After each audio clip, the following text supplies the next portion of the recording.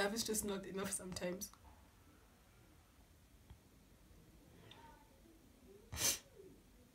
So when it's not enough, then what?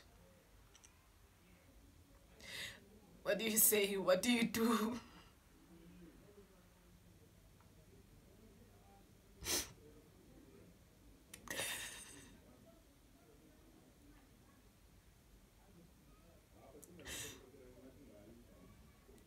You hurt me so badly.